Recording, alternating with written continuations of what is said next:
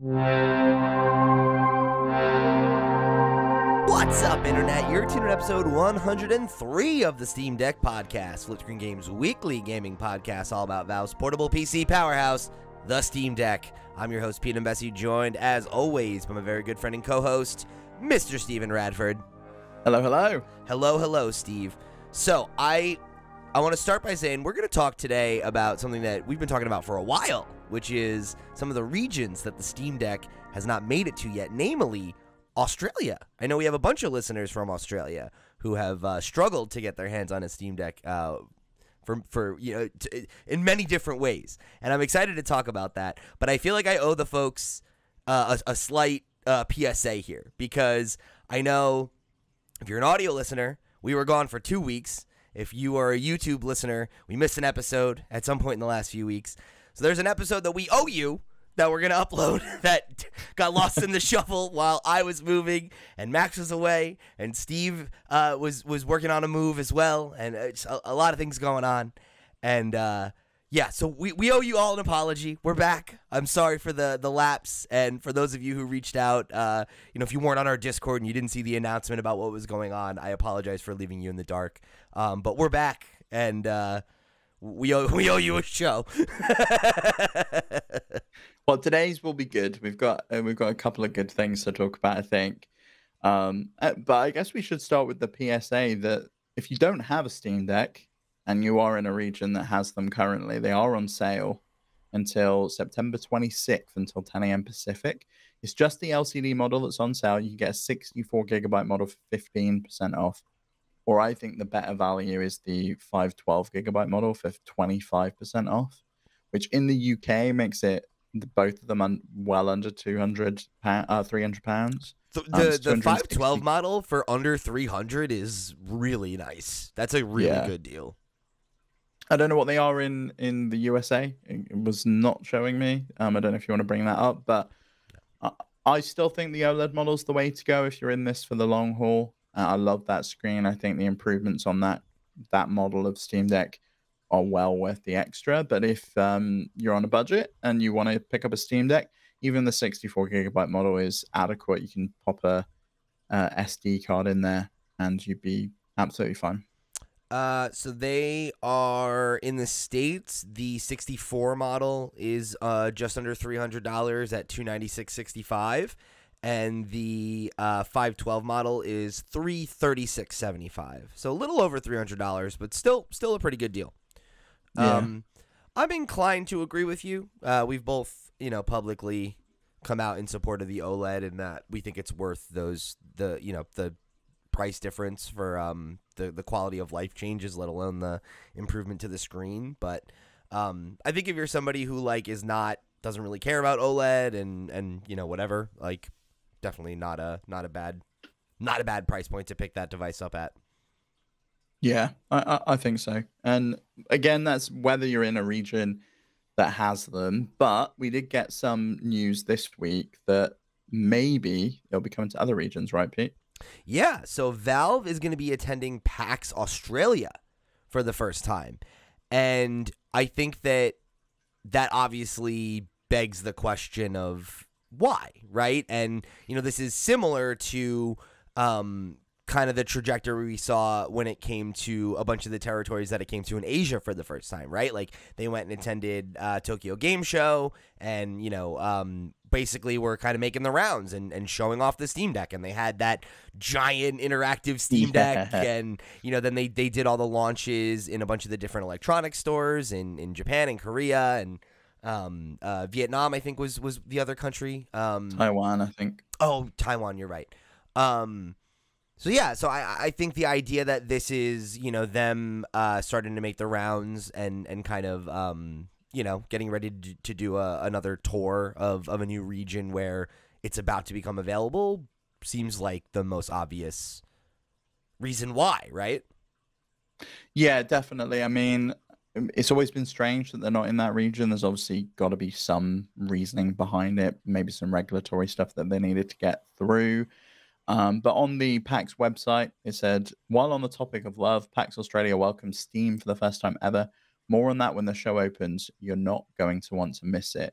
Now, it could be about something else, but for me, I think the most logical answer would be the Steam Deck launch and having that on the show floor and having like a presence there. Yeah, It would make sense. literally the only other thing that like I think would make sense would be if it had something to do with um like Deadlocked, right? Because that's like obviously a new game that they're they're starting to to talk about, but it's like Would you I- launch that at PAX? Would you not launch that somewhere else? Or... and, and when you talk about it in like America first, right? Like the country that like you're based in, you know? Like why would you go to Australia, a region that you as we just said, like have historically underserved and then be like let's come here to talk about specifically this new game that we've barely talked about anywhere else. Like if they were like on the Deadlock PR tour right now going everywhere and talking about it everywhere, then maybe they like you know that would that that could be the more the more likely uh you know solution here but yeah i mean i, I don't know. Like I, I think that it, it does make the most sense that it would be something related to steam deck and that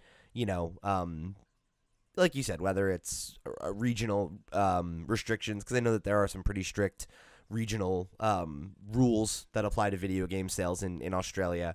Um but I, but i think it could just as easily be a um a production thing right? Because you know we've talked about how it's like valve not really a, a company that has a ton of history producing you know physical hardware and you know with um their expansion into asia they had a partner in that right and Yeah, and they may do the same thing in Australia because obviously in the USA and Europe they ran their own kind of distribution directly. You bought it from Valve. right They obviously partnered with other companies in order to distribute that out, but it was them selling.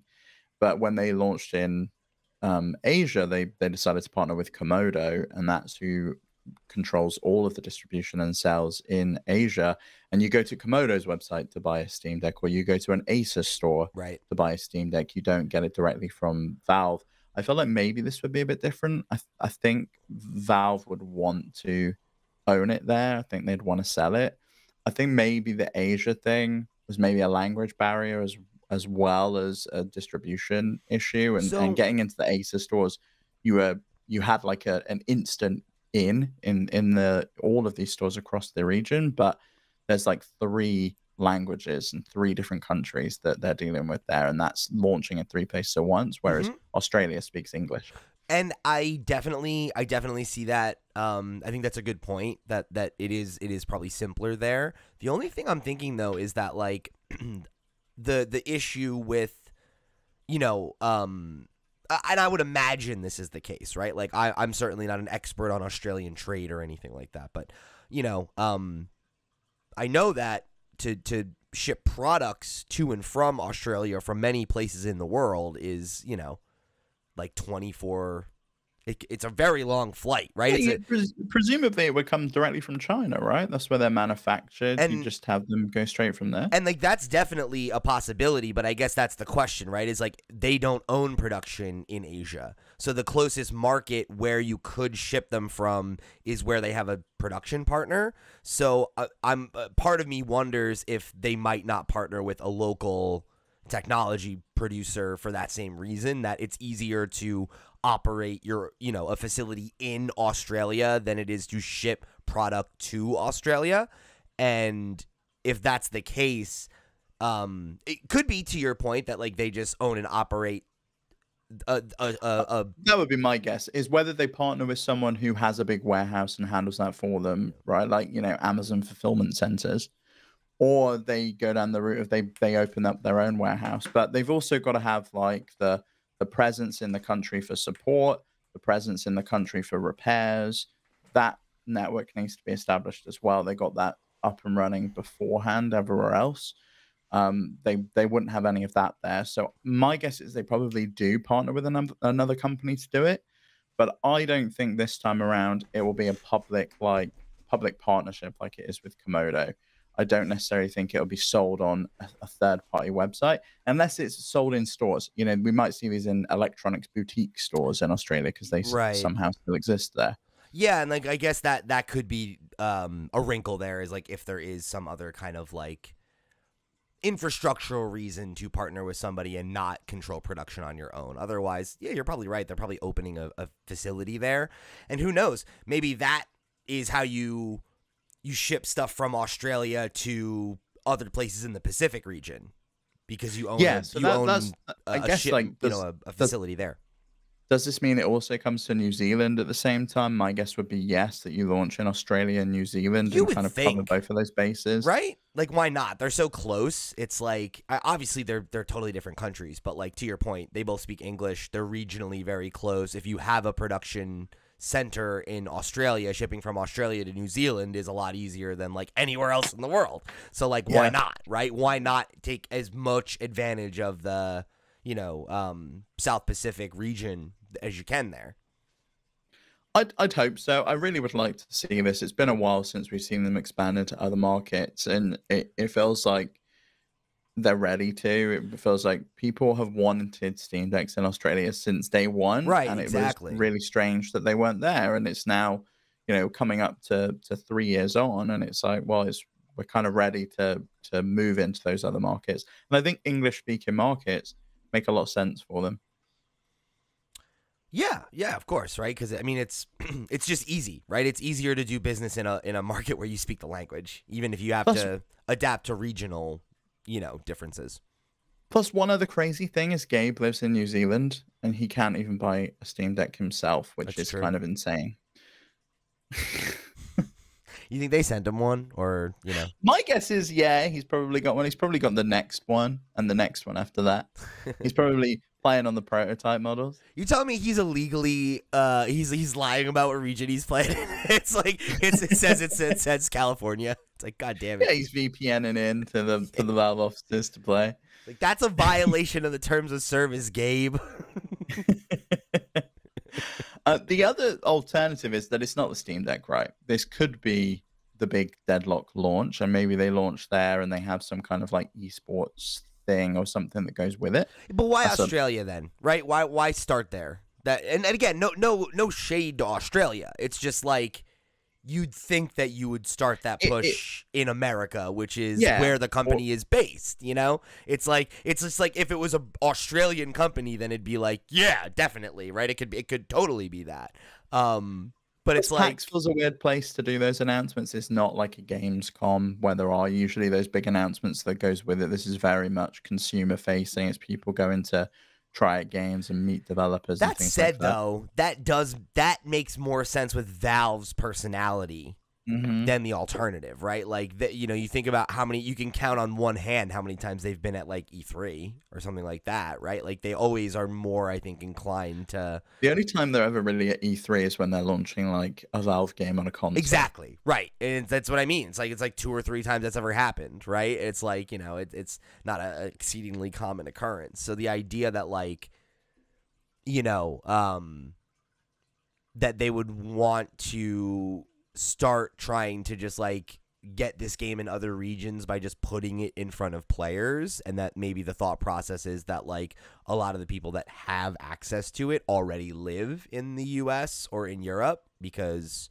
that's where a larger percentage of their market share is.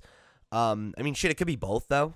Right? It could easily be like Could be they could They be show off the Steam Deck there. and they're Yeah. and Deadlock is one of the games they're showing off like yeah, that could also easily be the thing. Or maybe it's something else, you know. It could be that this is when we finally see that rumored Deckard headset Nah, and they, they announce it and they show it there. I don't think so.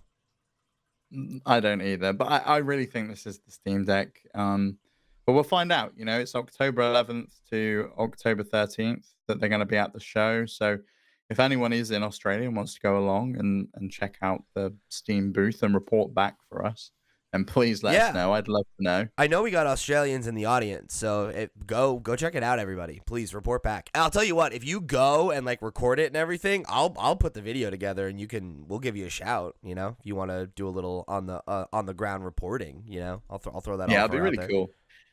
And uh, you know, we we know that the, it's a popular region for the for the Steam Deck, or people want it there. Like as you said, we had people, we had multiple, I think, Australians in the audience, and some, you know, helping each other out in the Discord, try like We've trying had- to get one. We've had multiple Australians join the Discord and be like, "All right, what's the vibe on importing a Steam Deck? Like, is that a good idea?" And it's like, ah, I mean, it's not a bad idea, but you're, you know, if, it does, if something's wrong with it, you're kind of screwed, right? But Um, I know a couple of couple of you have done it and and had success. So, um, I But- think I'd have done it if I lived there. oh, I definitely, yeah, I definitely am with you. I would have.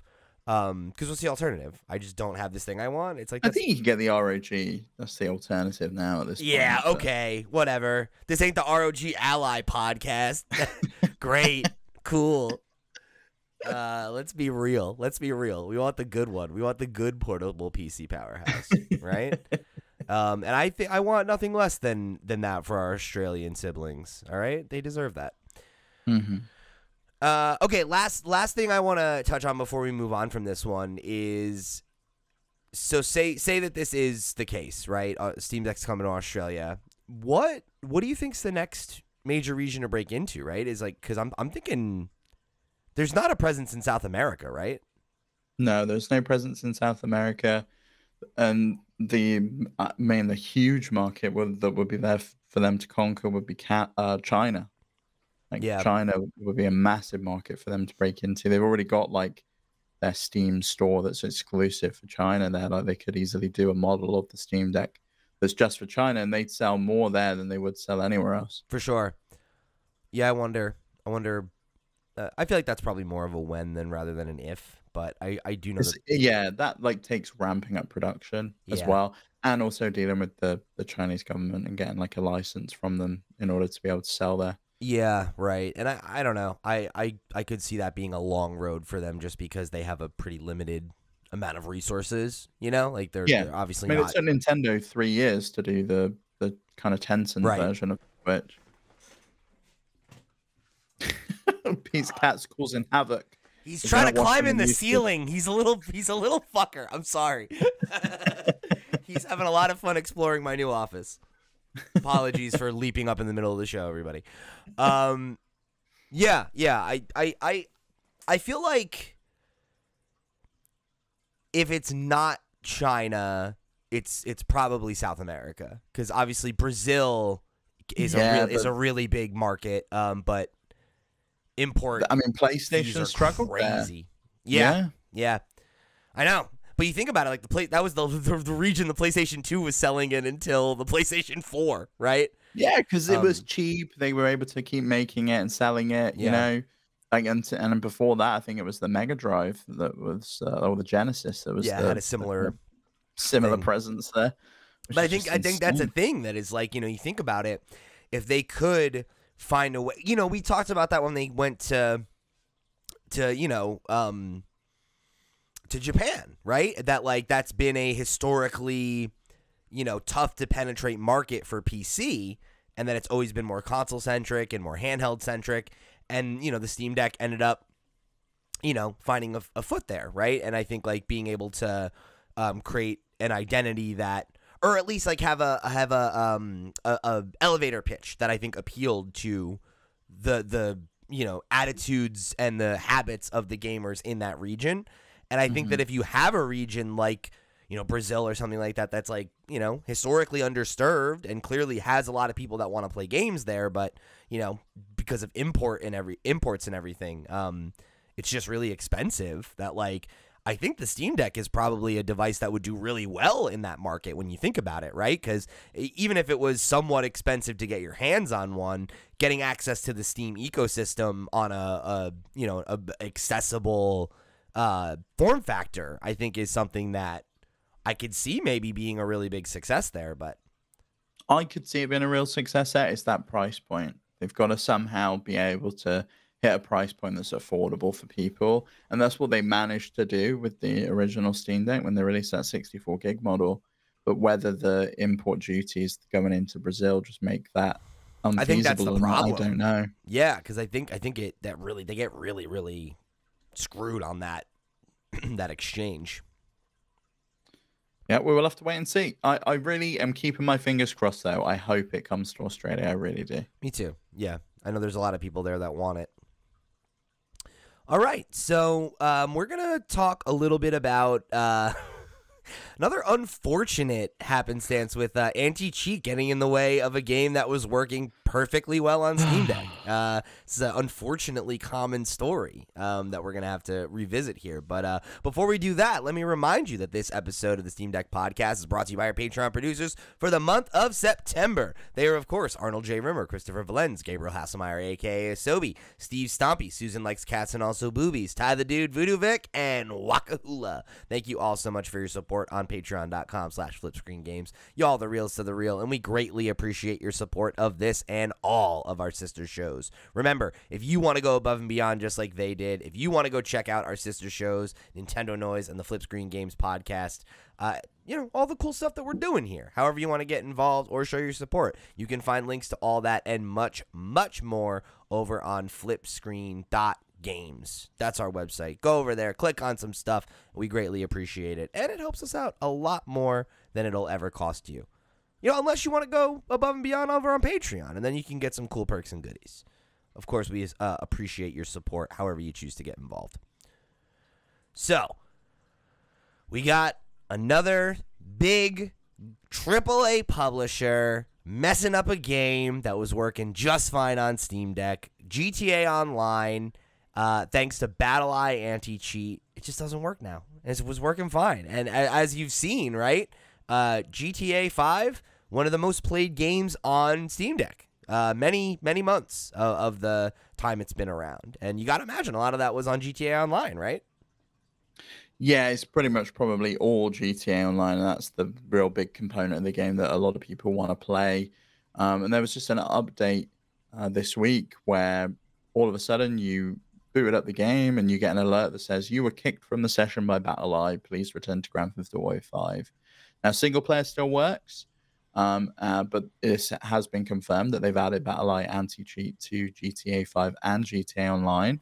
Um, but they've not enabled support for Linux, which means the Steam Deck does not work. Um, similarly, we've seen the same thing happen with Destiny, where they've explicitly not turned on support for Linux. Whether Rockstar's doing that here or not remains to be seen, um, or whether this is just an unfortunate misconfiguration and they will eventually turn it on. That's what I hope. However, they did put an FAQ up saying, Is BattlEye compatible with Steam Deck? And the answer is Steam Deck does not support BattlEye for GTA Online. You'll still be able to play GTA Story Mode, but unable to play GTA Online.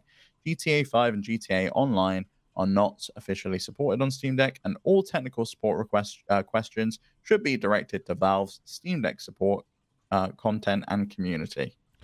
And then similarly, they had the same issue with um, getting a refund, right? Where if, if any players that have requested a refund because of this are getting directed to ask for a refund from Valve, and then Valve is saying take it up with Rockstar, right?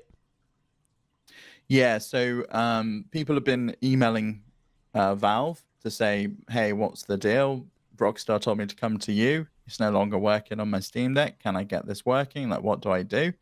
Um, and all you get is, unfortunately, Steam support cannot provide the best assistance with games made by other companies. Please click the link below for information on how to contact the support team for this game, which takes you back to the Rockstar page, which then tells you go to go back to Valve. Cool. Uh, there, there is a link to request a refund. However, it's clearly outside of the refund guidelines that, that Valve have published. Right. Um, so people haven't been getting them granted. Um, you can try your luck if you want to, but the chances are you won't get them.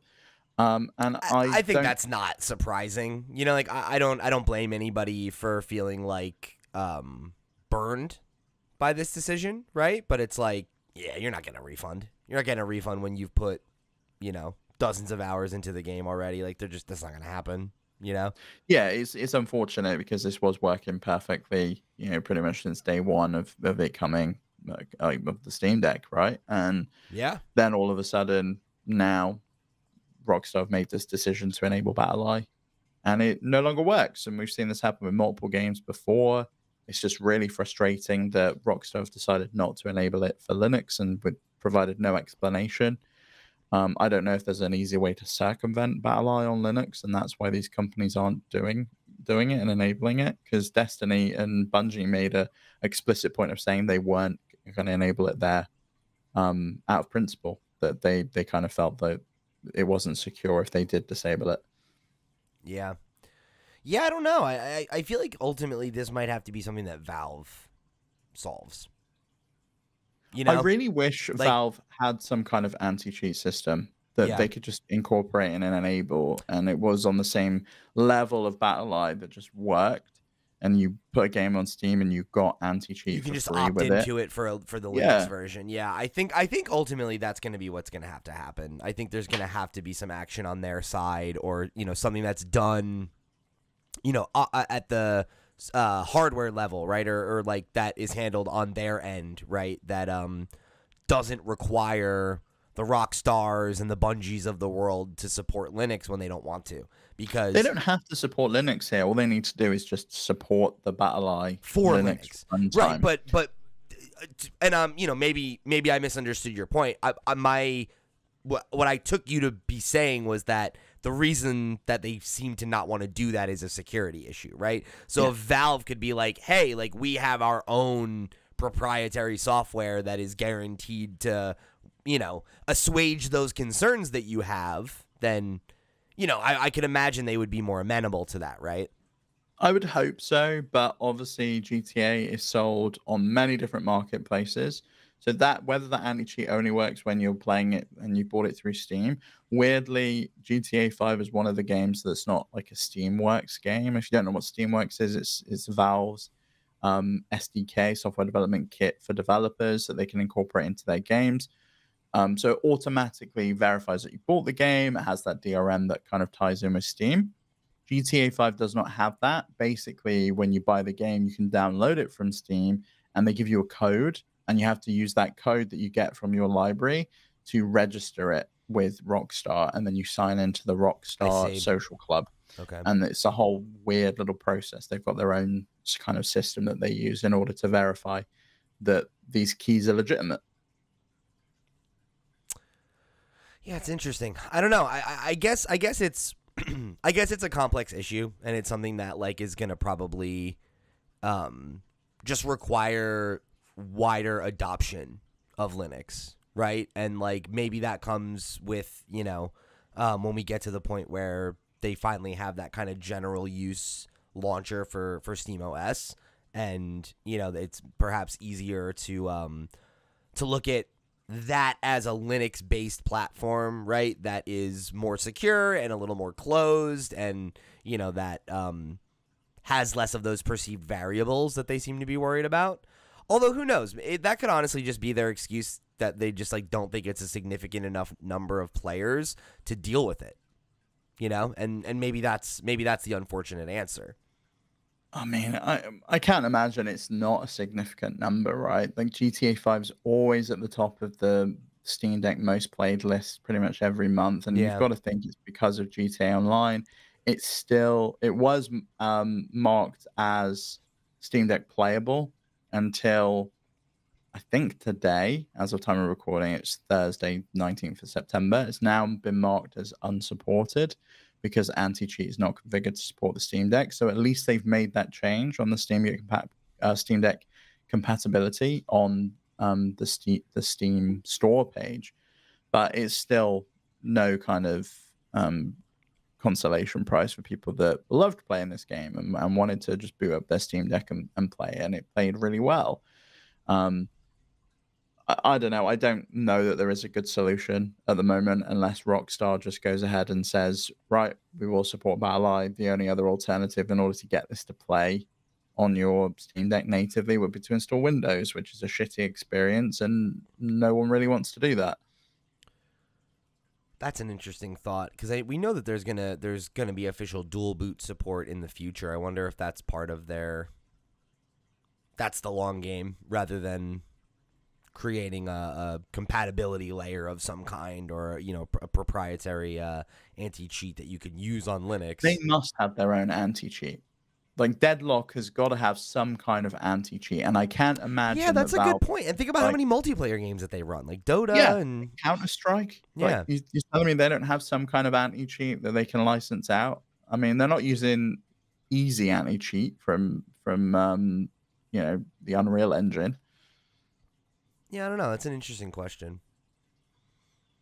But I, I, I think I think that to that end, right? Like I, I do imagine that like if there's gonna be a solution that's a permanent solution, it's gonna have to come from them because there's no real incentive for which is what we saw with with the Steam boxes and Steam machines, right? It was that none of these developers wanted to put the effort into support Linux because it was too small of a market. Valve went away and did the legwork, came back with Proton as this like transpilation layer, and it's just like, well, these games just work now. You don't really have to do anything.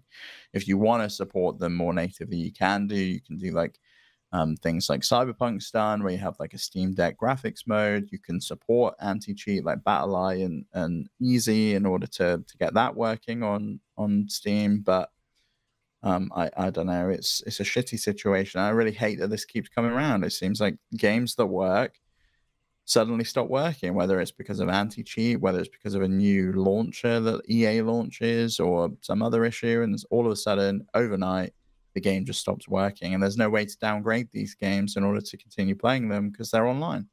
And I think that's like what's so frustrating is, you know, like I you know, I um I can understand when, you know, a company kind of like makes the the mathematical decision of like this it doesn't affect a small enough number of players to warrant you know, investing, but it's like man, like you have an activated segment of your community that's here playing this game every month that spent, you know, in some cases full price for it, you know, even when it's 10 years old.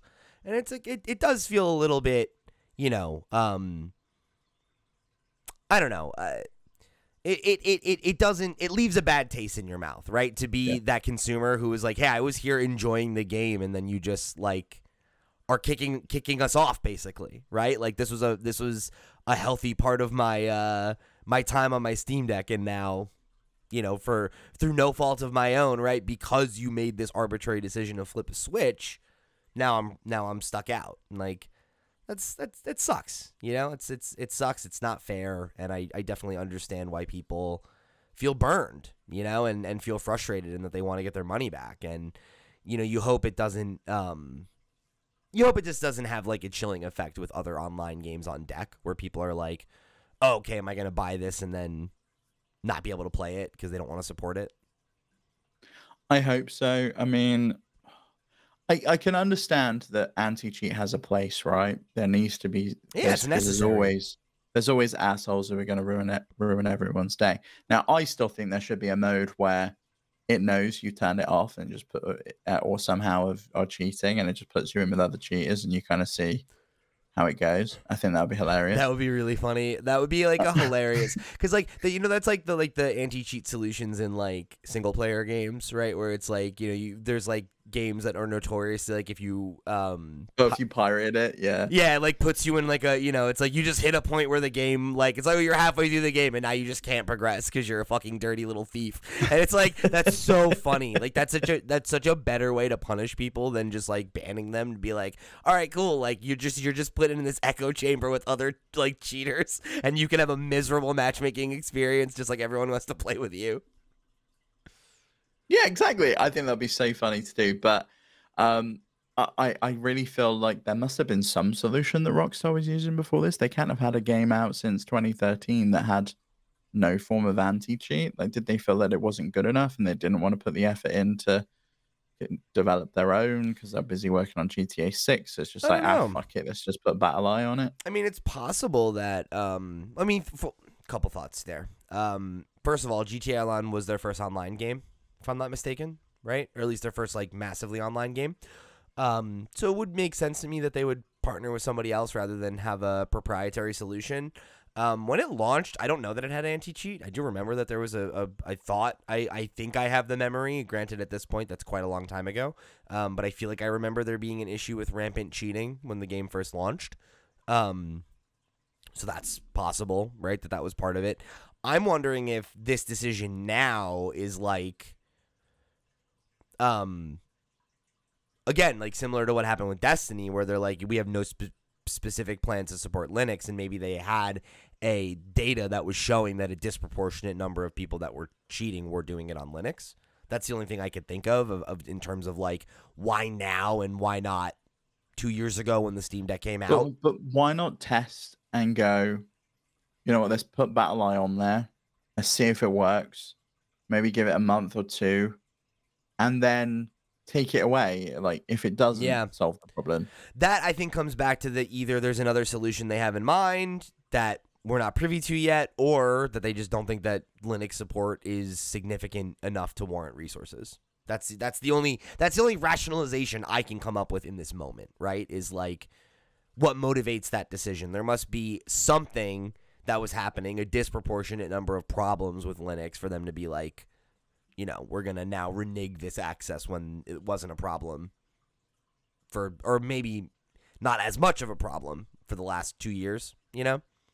Yeah, which is a real shame. I did some quick googling. There was no anti-cheat. So for the last nine years Until right now, until right now, that's crazy. PC PC Gamer Magazine says there was no anti-cheat. That's absolutely crazy. Well, that explains why there was an issue with cheating. and so sorely needed, right? But like a- solution that could have catered for all of your players would have been good. I get that that's not always going to be viable, but yeah. there is a solution for BattlEye. There is a Proton runtime for BattlEye. You could have integrated it. Hopefully, they take the time and they do it, and maybe in, in a week's time it'll be a whole different story, and everyone will be back to playing GTA. yeah. But this time, there's no cheaters there. hopefully people voicing their displeasure will be enough for them to be like, oh, okay, cool. We didn't realize that this was such a large, you know, vocal community that is missing this functionality now. We'll work on it. Hopefully. Hopefully it's that simple. Yeah, I hope so. Yeah. Well, uh, to those of you who have, who were affected, um, I I'm sorry. I think that's a real bummer. It's a really a, a shitty situation when um, you're not able to play your favorite game anymore. And uh, yeah, I hope I hope it's resolved soon. I was trying to find the reviews on Steam to see. It's still all very positive, but now there is like, yeah, thumb. There's a load of thumbs down recently posted. New anti cheats broken. Oh, look, another game that worked fine on my Steam Deck that no longer does. So I think I think that's the way to go. Like if if you were affected by it, go leave a big thumbs down on on Steam and, Yeah. and let them know. I think reach out to Rockstar support, right? Like make you know continue to make them aware that that you're upset and that you you know want them to deal with the problem, and hopefully they'll address it. Yeah, I mean, the power of the people was shown to work already this year. Helldivers 2 was meant to get mandatory PlayStation accounts, and then that got rescinded. Probably going to come back at some point, but it was good to see. Yeah, sometimes it works. So, good luck. I hope you guys uh, get your game back, or at least can get a refund. Uh, so. That's going to wrap it up for today's episode of the Steam Deck Podcast. Thank you guys for joining us oh so much. Apologies again for being away. Uh, moving's tough, but we're back, and uh, we'll uh, Never leave us. Never leave us again, Pete. Yeah, I know. Jesus Christ. I better never go on vacation. This whole whole organization collapsed without me. You are the you are the pillar that keeps us going. yeah, know? yeah. You know, that's uh, it's okay. I'm I'm happy to do that. I'm happy to put the organization up on my shoulders. You know. Yeah, we're gonna call you Atlas from now. on. sure. Sounds great. anyway, thank you guys so much again for being here. Thanks for your support. Thanks for tuning in. We appreciate you.